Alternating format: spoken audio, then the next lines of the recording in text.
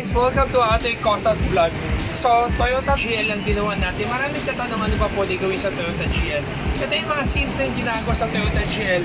Ito ay 430,000 na setup. Ano-ano ba ginawa sa 430,000? Marami kasi sabi na ayaw nila huminto ngayon sa gasoline station para mag-toilet. I think ito yon. So, unahin natin sa harapan. Itong harapan, kung mapansin nyo, ginawa lang namin, pinagdan namin leather. Uh, usually, ang kulay na pinapalit gray. Pero itong client na to gusto niya gawing beige. Kaya pinakita ko rin sa inyo, yung gray and beige na combination, not bad rin pala. So next is the, ito yung captain chair na ginagawa namin na uh, high back. So, uh, ito yung like pinapakita may armrest, atras abante.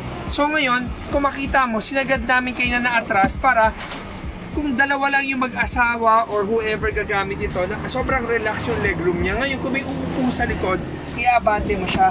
Kung inabante mo siya, ang legroom mo is parang pang kotse na. Para ito yung normal na upo mo ng ng uh, Grandia rin. Ngayon, pag upo ka sa likod, yan yung space mo. So, magbibigayan kayo. Pero sa laki ko, medyo nakadikit na yung, kaya pa rin, pero medyo nakadikit na pero to emergency seat lang naman to dahil yung owner na to, ang importante sa kanya, ito dalawang captain chair at saka yung toilet. So, ito na yung uh, ito na yung uh, upuan na uh, second seater. Kung mag-slouch ka, kailangan i-abante pa yon para maka-slouch ka ng tama. So, next is the toilet. Pero kung makapansin mo pala, pati yung jump seat na original, binalutan namin ng kulay uh, kulay beige, which is ito, yan o. Oh. Tapos, uh, next, Itong toilet, ang importante, ito yung marami nagpapagawa ng toilet. Kinabitan lang namin ng maliit na toilet. So, ito siya. So, may bidet.